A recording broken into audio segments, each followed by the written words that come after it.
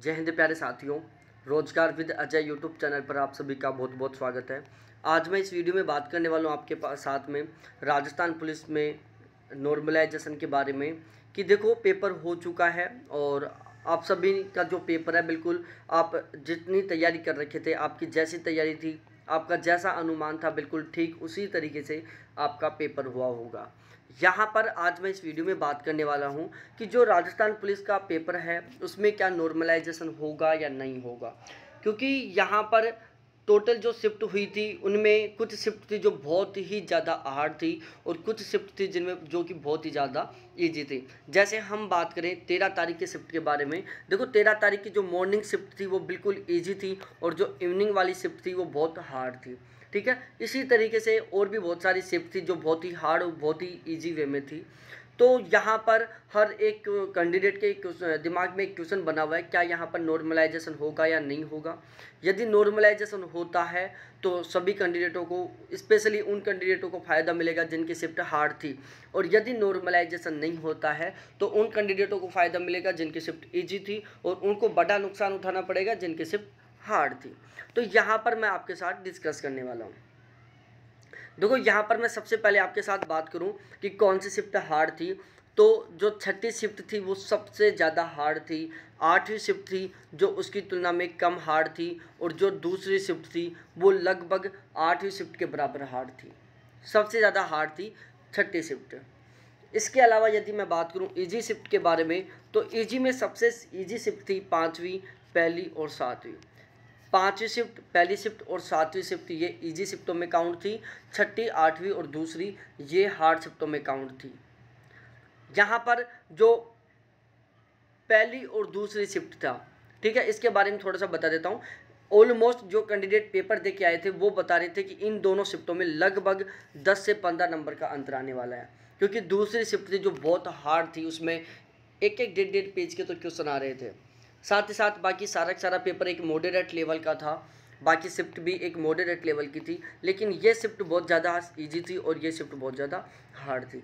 अब यहाँ पर क्वेश्चन बनता है कि क्या यहाँ पर नॉर्मलाइजेशन होगा या नहीं होगा? देखो, इस पेपर में क्या हुआ था? ना तो हमें पेपर दिया गया था, हमें पेपर का कोई पता नहीं कि पेपर हमारा किस तरीके से हुआ था, क्योंकि पेपर को वहीं पर रख लिया गया था। यदि पेपर हमारे हाथ में आता है हम पेपर को लेके आते हैं तो हमें मौका मिलता है आपस में पेपर को कंपेयर करने का।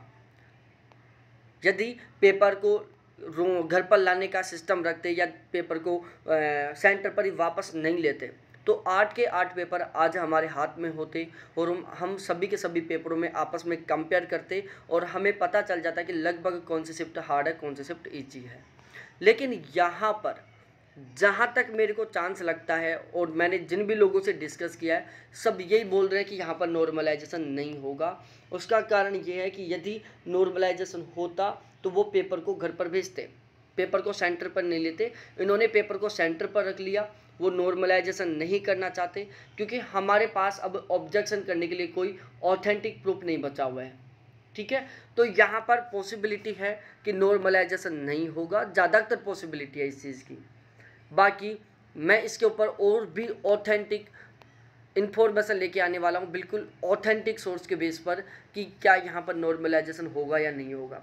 साथ ही साथ इसी वीडियो के डिस्क्रिप्शन में मैंने एक वीडियो का लिंक ऐड किया है, जहाँ पर मैंने डिस्कस किया है इसकी एक्सपेक्टेड कटऑफ के बारे में कि यहाँ पर लगभग कटऑफ कितनी जा सकती है। तो आप इस वीडियो को देखें, साथ ही साथ एक्सपेक्टेड कट ऑफ़ के वीडियो को देखें।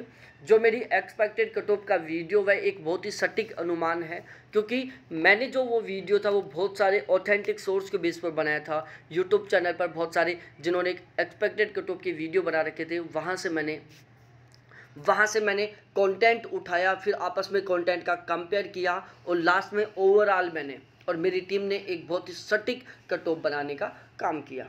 ठीक है? तो इसी वीडियो के डिस्क्रिप्शन में मैंने एक बहुत ही सटीक कटऑफ का अनुमान बताया है कि लगभग कितनी जा सकती है। साथ ही साथ, इसी वीडियो के डिस्क्रिप्शन में आपको एक वीडियो मिलेगा कि राजस्थान पुलिस में यदि आप लगते हो तो आपकी सैलरी कितनी रहने वाली है। प्रोबेशन पीरियड में आपको कितना क्या अमाउंट मिलेगा, आपके पॉकेट में कितने रुपए आएँगे और प्रोबेशन पीरियड कंप्लीट होते ही आपकी जेब में कितने रुपए आएँगे।